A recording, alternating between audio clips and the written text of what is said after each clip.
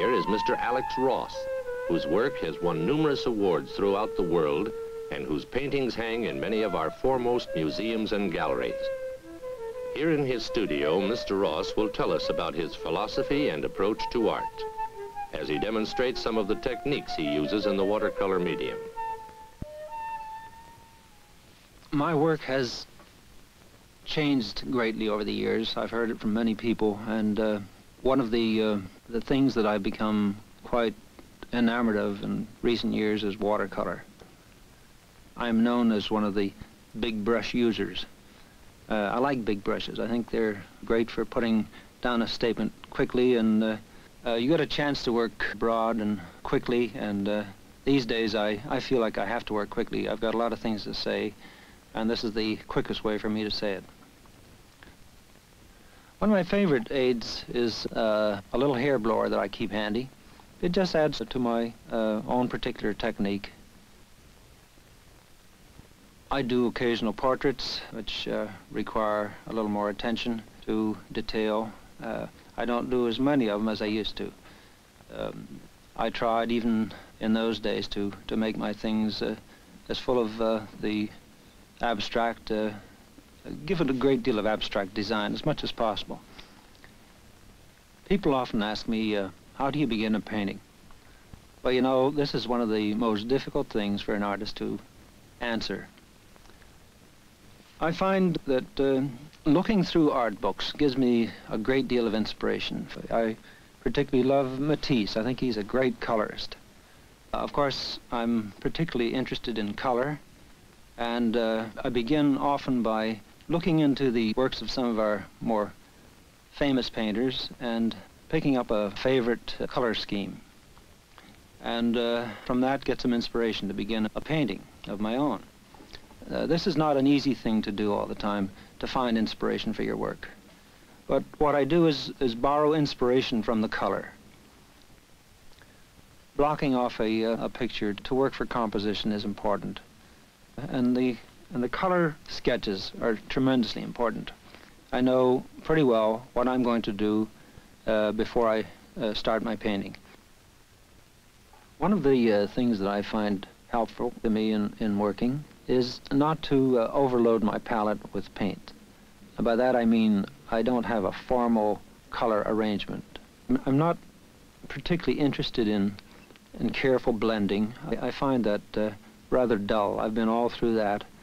And uh, I'm more interested in the powerful uh, statement.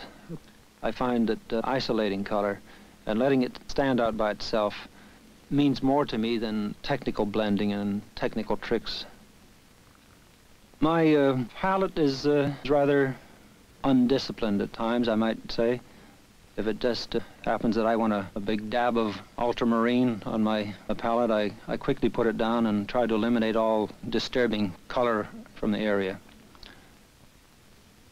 I think that I work rather quickly, and I think it's good. Uh, putting uh, your watercolor statements down fast is the proper way to do it.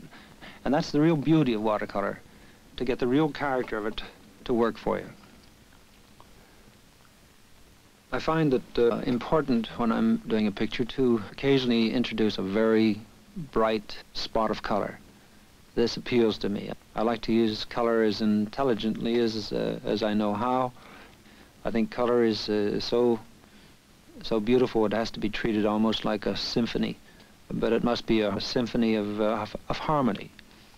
Chaotic color is uh, extremely disturbing to me, and I, I try to watch that carefully, that this doesn't happen.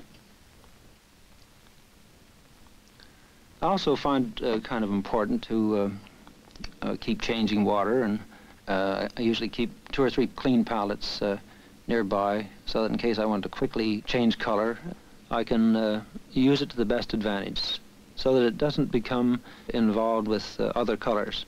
Of course, when I'm mixing colors, like a blue and a yellow or a blue and a red, naturally we, we have to have more than the one color on there. Smaller brushes, of course, are also necessary in certain areas, and, but uh, I find most of the time that I'm working with a big brush. There's a great um, satisfaction in, in, uh, in seeing your color come to the point where it's just right very quickly without uh, mixing too long as in oil painting. Uh, in a very short space of time you have arrived at your exact uh, intensity of color. I believe in painting watercolor with with a great deal of vitality. I, uh, my shapes have to be forceful and uh, I have to find that in my work uh, and uh, I keep searching for it and uh, it's tremendously important to me. Composition uh, of abstract is somewhat difficult to explain. It's a, a sense, a feeling you have for, for the dramatic, for the play of one strong area against another but of course I try to emphasize the abstract qualities of the picture. But I work very high key uh, in most areas, um, uh, light values. Uh, I still want my wallop of color in there. I'm not interested in uh, anymore in, in precise drawing. I think that's uh, incidental. But I'm trying to make color really dramatic by giving it uh, a stage in which to work, see? And I feel the stage is better if it's light instead of dark. See, maybe that's what I'm trying to do. I get a lot of inspiration from old photographs. This is a very easy way, I would say, to, to do a, a painting. By maybe taking an obvious subject and try to make it maybe unobvious by eliminating the obvious or at least de-emphasizing the obvious and uh, placing great emphasis on is uh, uh, shadows sometimes, or, or reflections even, you know. And uh, to me, this uh, kind of uh, does something that uh, takes it away from the ordinary. We're so used to seeing objects that are very familiar to us. And one way to make your painting kind of stand out is, is to introduce this idea of de-emphasizing the important. I spend a great deal of time on preliminary work doing pencils first of all, and uh, when I'm satisfied with my general composition in line, I begin to uh, follow that up by introducing areas of mass. Uh, after which, uh, uh, when I'm satisfied with that, I make some color sketches of the whole composition. They again are quite rough, uh, very little detail in them, but enough to give me a, a general idea as to what I want to see in my finished painting. Now, color sketches are very important to me. Well, after making uh, one color sketch, and then another, and then another, uh, it becomes increasingly difficult to uh, make your final selection. But the reason for all these uh, color sketches is to uh, be constantly searching for something that that's new, hasn't been done before, and is pleasing to your eye, to your color sense. Then I draw on my finished surface very lightly. I don't like the pencil or drawing implement to interfere too strong work. In fact, I put it on just light enough to be able to see it. And uh, from that point on, it, it, it, just fades into the background with my color over it. Uh, one of the important things about watercolor painting is is predetermining your actions before. You don't have to worry too much about that in oil painting, but in watercolor, you really do. You have to think it out. Acrylic paints, unlike uh, traditional watercolor paints, uh, have qualities about them that are very interesting, and uh, for most of us, they uh, offer uh, very distinct advantages. Acrylic paint is tremendously exciting to work with. Uh, there's qualities about acrylics that traditional watercolor paint does not have, such as you could place a very bright color of deep value. You could start a painting with that. And I often do this. But uh, the point is that you can get some of your very strong passages in first, rather than the way I work when I'm working in traditional watercolor, where you're likely to paint on a heavy passage, and then if you were to go over it with water, it would disturb it. But acrylics have dry almost immediately, and uh, this is the, the great advantage I'm talking about. The reason I uh, sometimes draw with my brush instead of uh, painting, you might say. I'll begin to draw small areas with acrylic, and when that dries, I have that the outline of this particular passage nailed down. And that allows me then uh, to sweep large washes without disturbing this acrylic which has dried. I don't always use large brushes. I occasionally use a small brush. And uh, there's reasons for this too. But as I said before, uh, that's uh, not as important as getting your large areas in quickly and uh, with purpose, making a strong statement. I like to work uh, broad and freely. I feel little need to uh, be preoccupied with blending of color.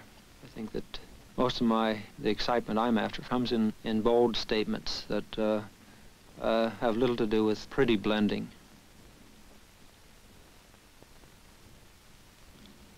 I like to use uh, the corner of a brush sometimes because uh, I can quickly, from that corner, go into a, a large slice. You know, I can just put down a huge stroke.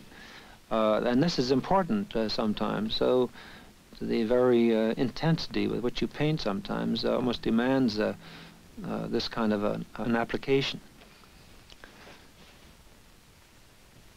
Ordinarily, I find it much more advantageous to get down as quickly as possible a feeling of the picture, and that means I work maybe all over it. I, I rarely just do one small bit and, and try to finish that, that off. In fact, I don't even recall ever having done it that way. Uh, it's important to me to to try to capture the dramatic qualities of the picture as quickly as possible. And of course, this is one of the beautiful things about watercolor. You can do it that way. I like to work my color cleanly as possible. I keep playing with uh, darks against whites, and uh, I study my work from time to time, and I don't think any artist uh, feels that he can uh, completely uh, tackle every uh, part of his painting with complete assurance at every moment. Uh, he has to stop and think about it. I find that a hard surface is difficult to work on with watercolor because it won't dry immediately. It doesn't have that absorbent surface that, uh, say, paper does. But uh, I make up for that. I bring out my trusty little uh, hair dryer and uh, go to work on it. Generally, when I'm beginning a painting these days, I, I like to feel that um, what I'm doing is not the obvious. In fact, I rather like to de-emphasize the obvious and uh, emphasize the, the lesser important uh, details. I, I, think in this way I defeat the expectation that everyone has of, of seeing a very familiar object dramatized and made rather ordinary by this treatment. I feel that what I'm searching for in my work is a, a kind of a, uh, a poetic uh, lyricism, you might say, where uh, I operate somewhere between uh, a dreamlike feeling and reality, uh, somewhere between uh, realism and abstraction. A clean palette is um, really quite important. I feel that uh, acrylics especially uh, do a pretty messy job on your palette and uh, if you don't keep it clean the little um, particles of paint dry and get in your brush and uh, and more or less foul up your washes so you really have to keep a very clean palette using acrylics. A knife is important uh, for mixing. I often use that. And, uh, and of course, my big brushes are of prime importance to me. I, I find that uh, when I'm putting in a big juicy wash, I just uh, have to have a big brush. And it would uh, inhibit me to uh, use anything as small as a, say, a number seven brush, a half-inch brush or something. Using large brushes would have scared me at one time. Now I really enjoy them. I feel that uh, a good-sized paintbrush is uh, absolutely essential to doing a, a strong watercolor. The uh, resist surface is marvelous for accidental effects. Knowing when to uh, stop is uh, one of the, uh, the, important things about using the resist surface. You can put in a large wash and the resulting effect is uh, always interesting. It's completely different than if you're using paper. When I'm painting, I, I kind of keep generally trying to think in an abstract manner. In spite of the fact that my subject matter is representational, I love the feeling that uh, there's abstract forces at work. And uh, I lean very strongly in that direction.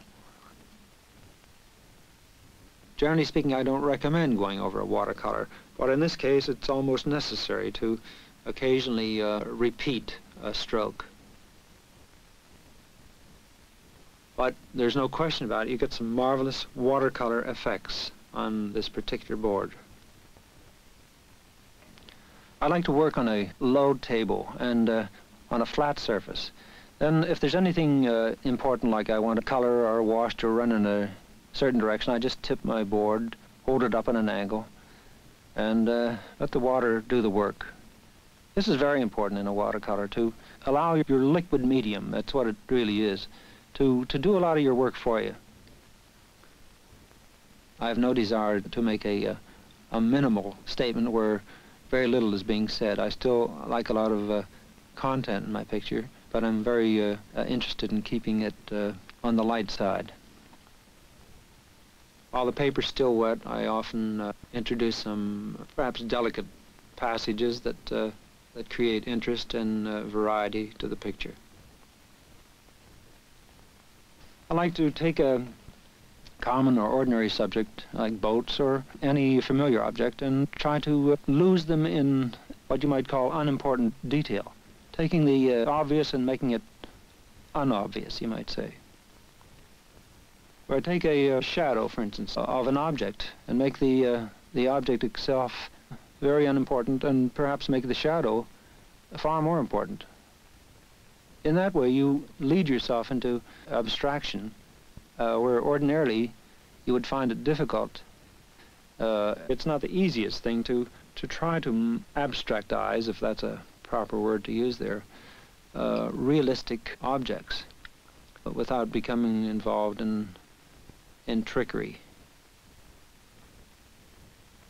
In this particular painting, I felt that it was important to choose uh, couple of small areas and really wallop them with color, give them a powerful shot in the arm, so to speak. And um, this becomes important by isolating these very bright uh, color spots. Um, if I were to use, for instance, uh, orange as I'm doing here. Uh, spread that color all over, uh, it would lose the dramatic effect that uh, I've attained by isolating it and keeping it in the company of uh, very strong uh, deep values such as the uh, dark greens and dark blues around it. I generally reserve any small detail as kind of the last stage of my painting because once I see what the, the general overall dramatic effect is, uh, I feel that I've won my game, so to speak. So any additional small detail is, uh, is just icing on the cake.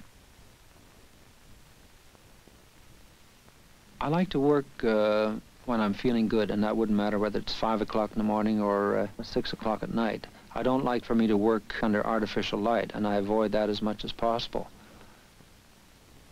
I find that, uh, having spent so many years at painting, that I have less desire now to, to do the very obvious, realistic pieces. I, there's lots of people who are involved in realism, and, and I think there's another world beyond that. I think there's a, a world of, uh, well, you might almost call it mysticism. It's a dreamlike world where we have our dreams, you know, and after all, they're important. And I think that uh, catching some of that is important to me, you know. And uh, there's more to it than that. You know, there, there is realism, and we have to realize there is. But there's also this dreamlike thing. There's this other world uh, that I think that we, we can uh, wonder about and think about and, and even try to paint.